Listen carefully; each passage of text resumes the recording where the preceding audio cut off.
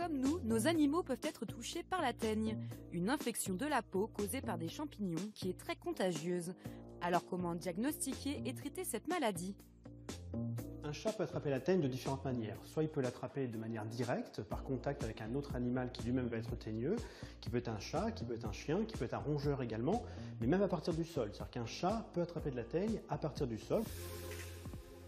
La teigne chez le chat présente différentes manifestations. La principale qu'on va observer, c'est une alopécie circonscrite, c'est-à-dire qu'une perte de poils très localisée, plus ou moins avec des petites pellicules, ce qu'on appelle des squames chez les animaux, donc comme on le voit très bien sur l'oreille en fait de, de ce perçant.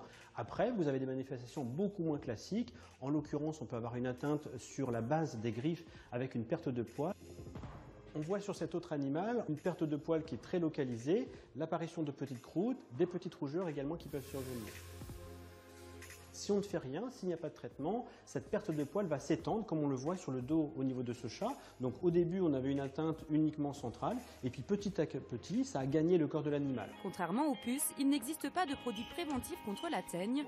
Dès que ces signes apparaissent, consultez votre vétérinaire qui va mettre en place un traitement. C'est ce que Louis et André ont fait pour Jack, leur bulldog. Les traitements de teigne en fait sont assez longs et fastidieux. Au niveau des traitements, ça s'est bien passé? Très bien. Oui. Concrètement, ça va être soit des liquides à lui faire avaler, donc une solution, ou bien des comprimés, tandis que sur le corps de l'animal, c'est une solution antifongique qu'on va appliquer sur l'animal deux fois par semaine.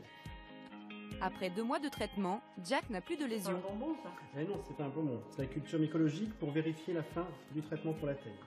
Un animal traite pour la teigne, globalement, n'a pas de séquelles. Le pelage repousse complètement, sans aucun problème. On l'envoie dans un laboratoire de laboratoire mycologie et c'est eux qui, une fois mis en culture, vont nous dire s'il reste ou non des spores et donc s'il faut ou non continuer le traitement. La teigne est très contagieuse. Vos autres compagnons devront également être traités, ainsi que votre maison.